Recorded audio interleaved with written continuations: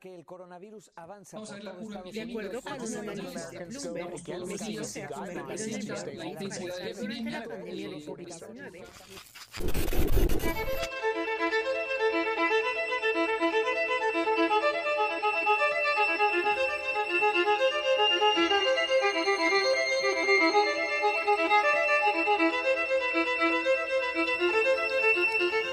La Secretaría de Salud informó que en el nuevo semáforo de la alerta epidemiológica del coronavirus COVID-19, que entrará en vigor a partir del próximo lunes 23 de noviembre, los estados de Campeche y Chiapas estarán en color verde.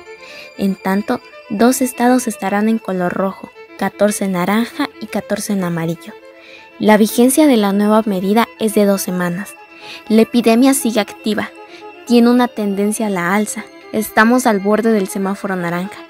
Se han registrado 1.025.969.000 casos de contagios acumulados de, coronavirus.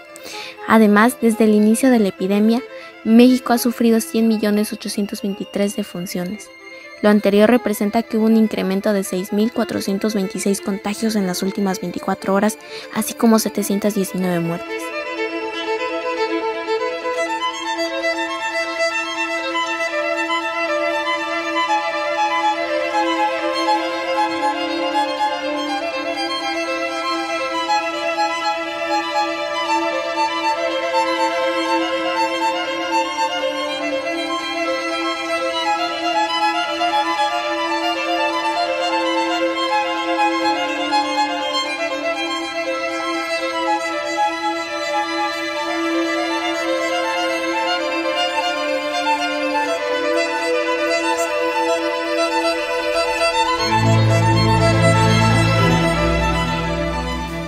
La pandemia teníamos muchas comodidades como salir a la calle, transportarnos de un lugar a otro, asistir a una reunión familiar o con amigos, comer en algún lugar público y de repente nos tuvimos que encerrar llenos de miedo y sin tener la certeza hasta cuándo regresaremos a nuestra vida de antes.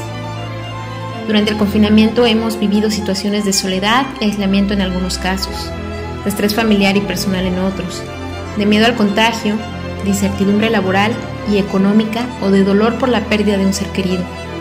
Durante este tiempo nos ha invadido la pereza, la apatía, la tristeza y hemos notado cómo a poco a poco nuestra motivación baja, deteriorando nuestro estado de ánimo. Tanto tiempo sin salir a la calle, sin disfrutar de la luz del sol, sin darle a nuestro organismo la actividad que necesita, ha provocado problemas de conciliación y mantenimiento del sueño. Es natural sentir temor ante una situación traumática o después de esta.